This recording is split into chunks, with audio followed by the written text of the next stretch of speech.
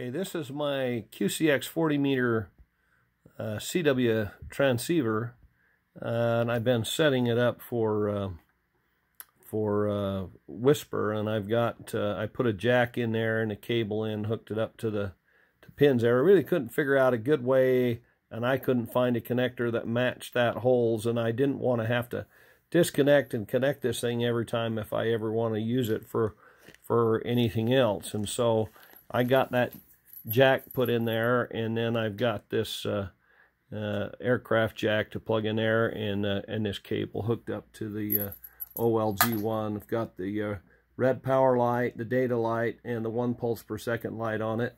We'll hook it up here in a minute, but I was just going to show you.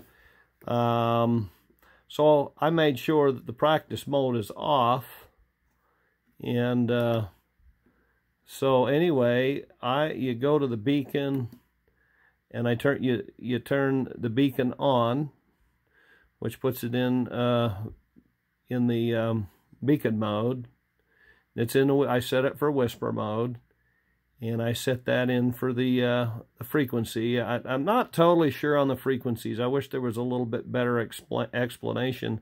The book just shows uh, 07 040000 to uh, um, the last digits to the highest being 200 as being the range of the frequencies for this. So that's what I just said in there. I saw that on uh, WSPRnet. I put that at frame 10 and uh, start that time in four minutes. So four minutes, it will come on at four minutes, 14 minutes, 24 minutes, and so on uh, uh, each time it transmits. So I've got it uh, transmitting 10, 10 minutes long, or, you know, every 10 minutes and starting at the four minute mark. So not everybody's starting. I put my call sign in. Mine was pretty straightforward. Wasn't a shortened call sign, so I didn't have any problems trying to figure out the spaces that went in there. I was a little confused about uh, my Maidenhead locator, but that best I could figure out that's what to put in. Mine was DM39PH, six long, but you can only put four in. So I put the first three, four in for my location and uh, 37 on the power, uh, which is five five watts. This transmitter is actually a little less than that. I probably should set that. I should probably set that at uh, at 33. I'd actually be a little closer. Um, if I if you put the wrong one in here, it will not accept that when you exit out of out of it. And the set time, I don't bother with that now that I've got the the um, the GPS unit on there. So um, exit out of the mode and uh, and it's it's gone right into the into the beacon mode. So I'm going to hook up.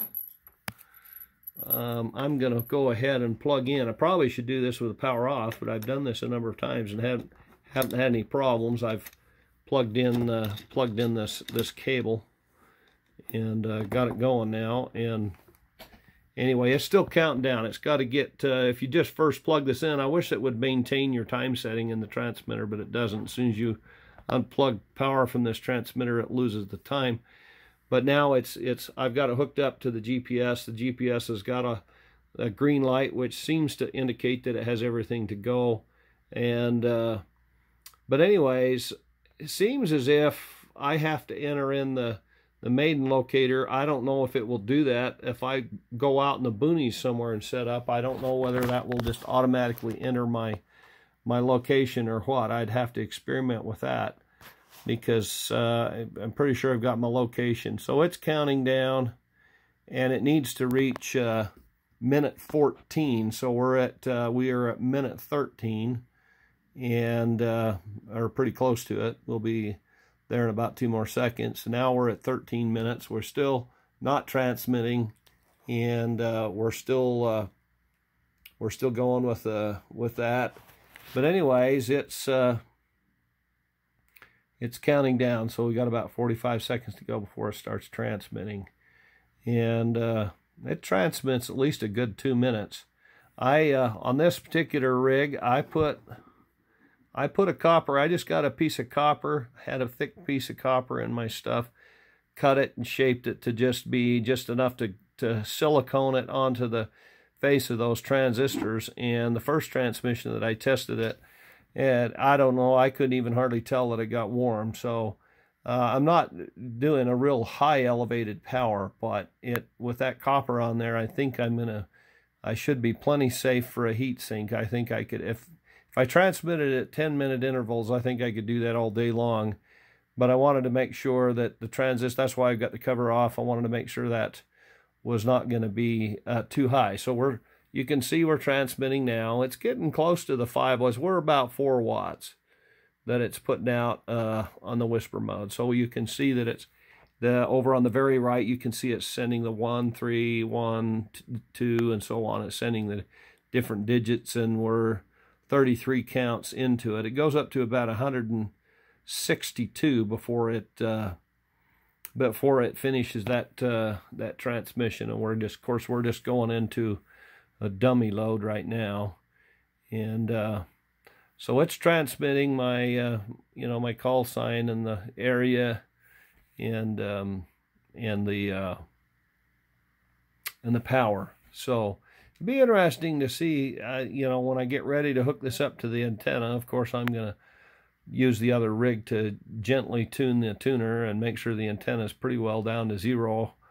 uh, SWRs before I hook that up. I'm sure because I'm running a flat SW0 SWR on this, so I'm not feeding any power back into the radio. And I'm assuming those transistors would get a lot warmer if you were going 1.5 to 1 uh, on an antenna. You know, you're running it up there a little bit high on your SWR. I'm pretty sure you'd have uh, uh, definitely a lot more warmth than what I have right now. And I, I think that's partially, I couldn't even really tell that the transistors got warm at uh, that kind of a power. So we're up to 142. We're still we're still kicking out the power. It's still sending the data uh, out, and so we're getting up to the point where it's going to shut off here pretty pretty quick. 62. So now it's shut off. Now it's calibrating. Uh, the, the it's calibrating the transceiver there, and now it came up with the correct time. It it uh, from the GPS downloaded the data. So it uh, it works. That's pretty fantastic. And uh, perhaps little update here. I I had another video on this little GPS unit that I got from uh, from overseas. I didn't pay very much for it, but this is the whole case and everything that I put up for it. Whatever it's transmitting, there is something that's not right. It works, and when I hook it to directly to the computer, it locates and does everything it's supposed to when I hook it up to u-blox. So there's something about the data that it's transmitting or something it doesn't seem to want to interface. So I'm going to learn more about the U-blox. It'll be uh, stuff I'm, I can either make a clock with this or other things. But uh, when I learn to program this GPS module, it may be that I can figure out uh, uh, how to make it work with this particular situation. Otherwise, I've got myself a little project box. But anyway, that's what I have up on, on this. And so we, we are already uh, transmitting again. Um, so uh, that was quick. I must have the frame set different than I think I do. Oh, I know why it's transmitting so, so quick back on is because when it set the time, see, I was just started at the time clock at uh, midnight, all zeros, and so it took it uh, four minutes before. And if I'd had to had the the the GPS hooked up, it wouldn't have transmitted for another 10 minutes. But since it calibrated the time, um, it must have been uh, fairly close. It must have been fairly close to uh, a time frame that was uh, uh going to allow it to transmit. So it was 1700 hours and something. So we'll see uh, what it does so we're not going to have to wait very long before it, it shuts off. So it will give us it will give us another countdown. So anyways, I'll have to check those transistors and see how they feel. But uh, everything, I haven't got no smoke coming out of nothing yet. So that's a that's a good sign. So there it just shut off. Our power meter went down to zero. And now we're uh, calibrating again. And so that's telling us right there that we're going to have to wait till uh, 44 minutes. It's gonna it's 1736, so it's got to get clear up to 44 before it uh, kicks out the next uh, transmission in 10 minutes.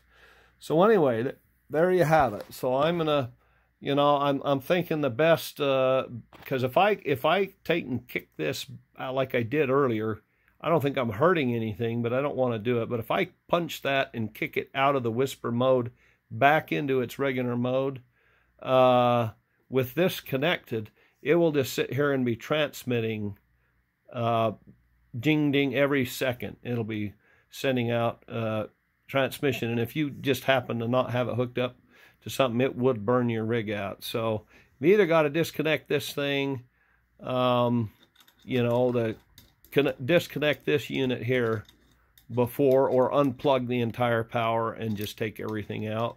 I have done this a number of times. I don't know what's, you know, recommendable or not recommendable, but if I do that and unplug it and then hit the exit, then I'm I'm back into the regular transmission mode. You just don't want the GPS unit hooked up to it while you do that because then it just starts transmitting. Um, but anyways, that's it all seems to work well.